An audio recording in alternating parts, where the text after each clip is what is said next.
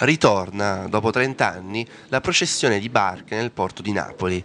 L'evento, organizzato dall'Associazione Stella Maris di Napoli, dall'Ufficio Diocesano Migrantes dell'Arcidiocesi di Napoli e grazie alla collaborazione dei rimorchiatori napoletani, ha visto anche la partecipazione del sindaco Rosa Russo Riervolino e di assessori al decoro urbano Diego Guida e alle politiche sociali Giulio Riccio.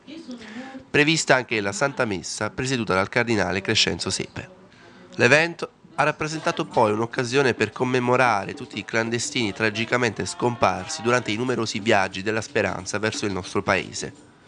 Un ringraziamento speciale da parte del cardinale Sepe anche agli uomini della Capitaneria di Porto e al loro instancabile lavoro di monitoraggio e controllo delle coste italiane.